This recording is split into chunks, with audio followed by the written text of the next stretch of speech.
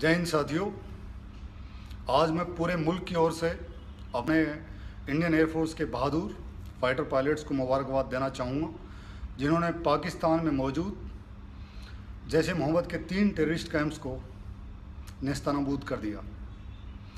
दोस्तों, ये इसलिए करना पड़ा कि अगर आपके घर में कोई घुस के आपके बच्चों का, आपके माँ बाप या आपके भाई बहन या आपके पति या पत्नी का कोई कत्ल कर दे तो आप क्या करेंगे?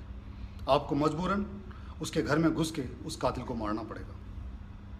दोस्तों, मेरी आपसे एक अपील है कि इस हमले के बाद पाकिस्तान ने अपनी सारे स्लीपर सेल्स हिंदुस्तान में एक्टिवेट कर दिए हैं। अगर आपको कहीं भी, कोई भी अनयूजुअल हरकत दिखे किसी व्यक्ति या संस्था की तो आप सिक्योरिटी एजेंसीज और इंटेलिजेंस एजेंसीज को इस चीज़ की इतला कीजिए।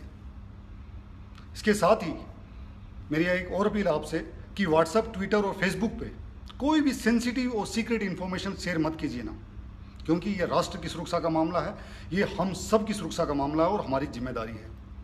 इसके साथ ही मैं पाकिस्तान के आवाम से भी एक अपील करना चाहता हूँ कि हमारी आपसे कोई पर्सनल दुश्मनी नहीं है, लेकिन पाकिस्तान में मौजूद वो लोग या वो संस्थाएँ इंक्लूडिंग पाकिस्तान आर्मी, जो इस देश में दहशतगर्द और आतंकवादी भेज रहे हैं, हम उसको बर्दाश्त नहीं करेंगे।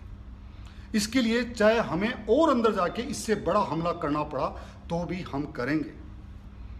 हम चाहते हैं कि पाकिस्तान की आवाम पाकिस्तान की सेना से पूछे कि वो ये क्यों कर रहे हैं, किस लिए कर रहे हैं, क्या मिलेगा इससे? उन्होंने पूरे पाकिस्तान को एक भिखारी देश बना दिया है।